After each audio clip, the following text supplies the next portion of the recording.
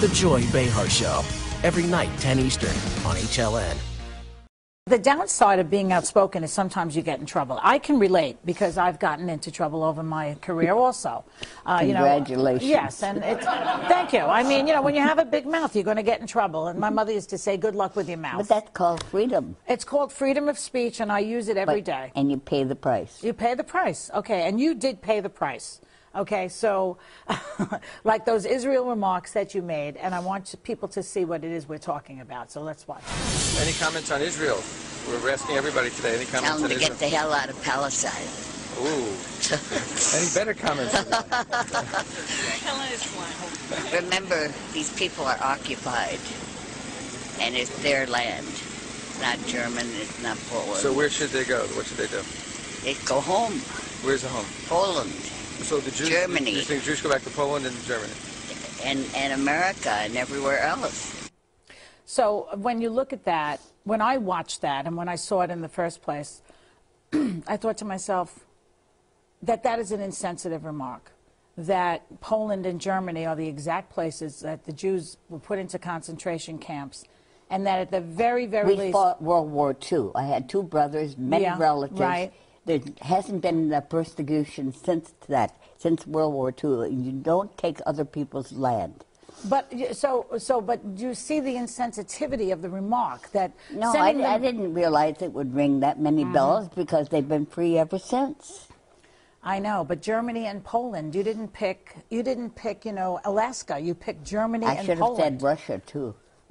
Well, Russia had its uh, its share of anti-Semitic pogroms also, but They you- also had 25 million who died in World War II. that's true. But I'm trying to More than that. Yeah. So I mean, Germany, Poland, you know, Dachau, Auschwitz. We're talking And the about United States. and the United States. What?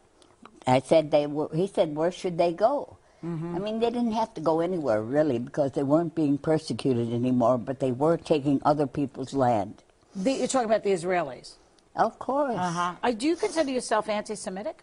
Hell no. You do not. I'm a Semite You're a Semite yourself. of Arab background. Oh, I know you're Lebanese background, Mm-hmm. right? But you're not Jewish.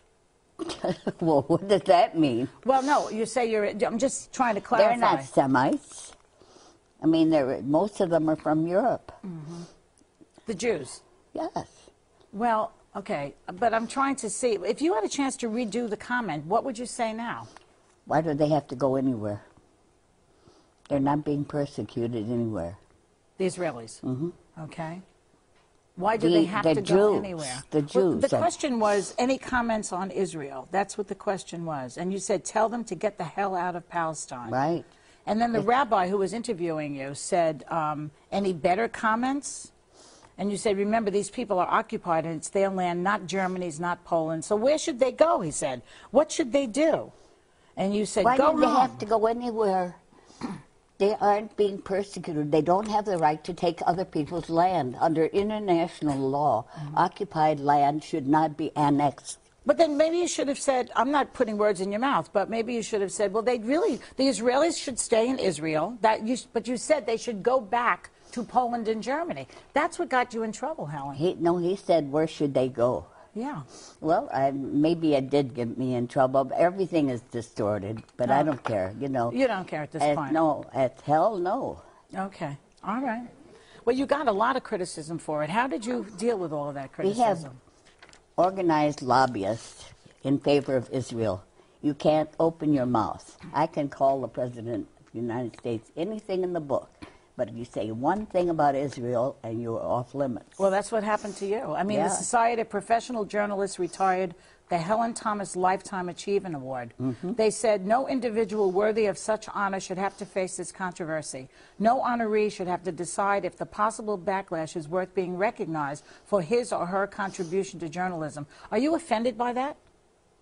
By what? The fact that they will not give this, um, this award to anybody in your name? Well, I mean, that's their decision, but I think it's stupid. Has nothing to do with my views about Israel. Mm-hmm. My achievements in journalism are a little separate. So you have no regrets about what you said, even though they. I have regrets that everybody's misinterpreted it Uh huh. and distorted it. and you have the Ari Fleischer and Abe Foxman distorting everything. So I should have, I certainly knew that, and I should have kept my mouth shut, probably. But you, okay, so but you still don't feel that it was insensitive in any way? no. No. I'm, in, I'm sensitive about the Palestinians being pushed around, knocked on the door at 3 o'clock in the morning. Get out of this house in 24 hours. Three generations in, in refugee camps, mm-hmm. Okay. pushed from their homes. I see.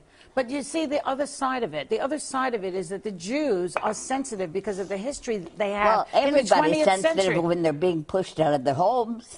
Well, but the 20th century was particularly cruel to the Jewish population. Yes, it was. In and Europe, I in Germany, My family went through World War II. I, we were very sensitive. All of us were there. Every American was there. But did your family go to a concentration camp?